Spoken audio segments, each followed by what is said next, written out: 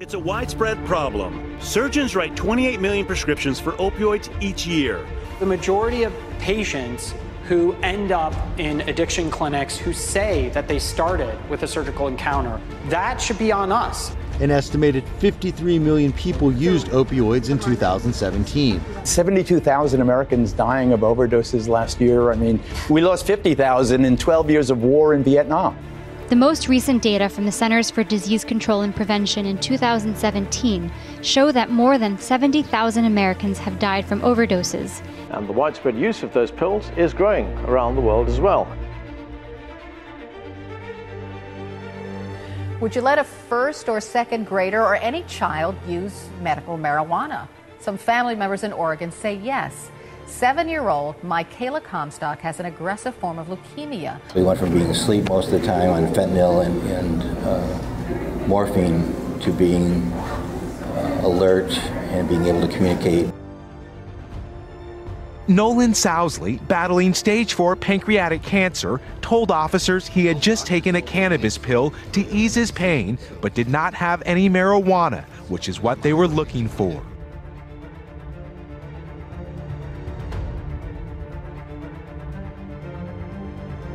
Pain management is a complex issue that's only going to get more complex over the next couple of years. The pendulum has certainly swung from giving as much opiates as possible to relieve suffering to a sense of responsibility of not creating addicts in the patients that we treat.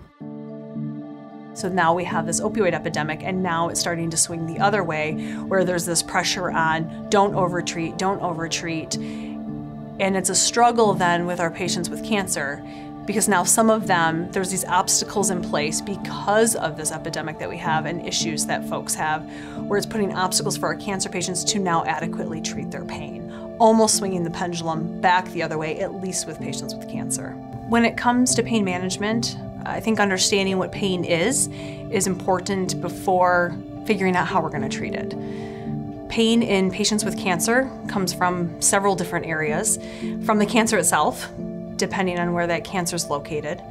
Can also be the treatment that we're giving that often can cause pain in a variety of manners. Opioids are morphine, oxycodone, hydromorphone, fentanyl. We have pain receptors in our brain, and those receive that sensory impulse. If you cut your finger, that sends an impulse into your body, up into your brain that says, that hurts. And the opioids then can help block. What they do is they block that sensation of pain. They don't your body is technically still feeling, still having that pain, but is blocking the sensation of that pain, and that's how they work.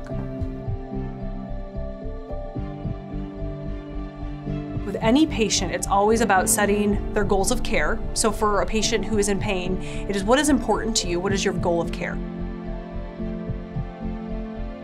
Is it important that you're awake, able to participate with your family and in family discussions. And if it is, then we need to balance your pain with being able to be very awake and very lucid. After I was diagnosed in my bones, I started having some bone pain, especially after the immunotherapy kicked in. And there would be days where I just didn't want to get out of bed, or I would feel really nauseous, or I would have a lot of pain in my hips and legs. And I used to take opioids. I didn't like how they made me feel, and I didn't want to get addicted. So, lucky for us, we live in California, and weed is legal.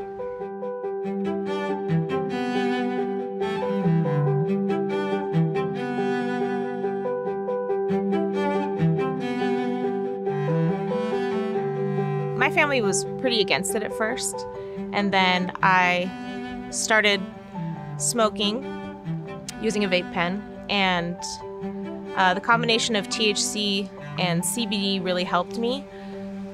And my family really got on board after they saw what it did for me. When it comes to those that have been diagnosed with cancer or are fighting it for the second and third time, um, cannabis has actually become quite a blessing. It helps with their uh, nausea, uh, it does help with the sleep, it does help with the uh, food factor and appetite, uh, things of that nature. It is very um, easy on the system. They um, won't have some of the nasty, terrible side effects that come with the chemo treatment. Our body has actually an endocannabinoid system.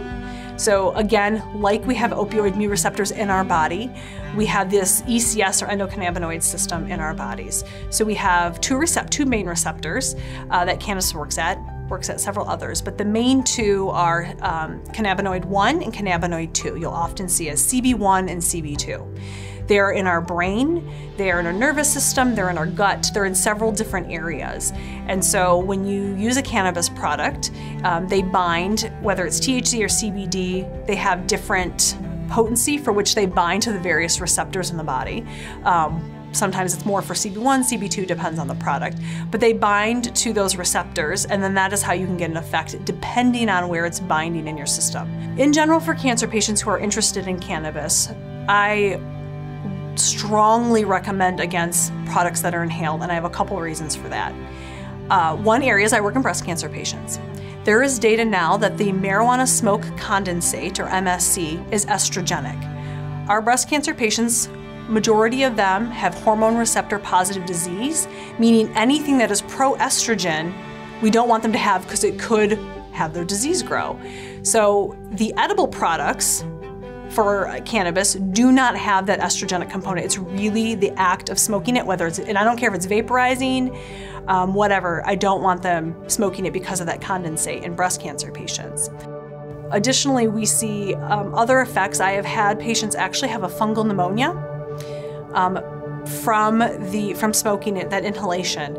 Um, most of the practices of preparing that product for inhalation does not get rid of the fungal spores. Fungal spores are normal. They are in our soil, they're on our plants, it's a very normal part of it. But when you have a cancer patient who may have their immune system compromised and now they are inhaling a fungal component directly into their lungs, it can cause a severe fungal pneumonia.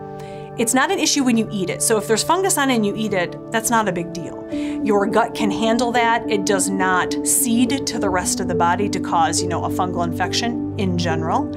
Um, so for majority of our patients, eating something, you don't have to worry about it as much as you do smoking. The data and the research has really started to uptake exponentially, I would say, within the past couple years. If you just look, there's thousands of, of articles now even if you are totally against cannabis, I think maintaining an open mind as these studies come out, I don't think it's going to be the end all to be all. Um, I think it's just another tool that we can potentially use for patients. Certainly, in this day and era, with medical marijuana being in the forefront of the news, that is, a, it appears to be a healthy alternative or a complementary uh, adjunct to the traditional opioid uh, regimens that we give. And there are many patients that have anecdotal great response to various forms of medical marijuana. The later generation, um, not many people want to smoke, especially if they're not smokers to begin with, so edibles are extremely popular.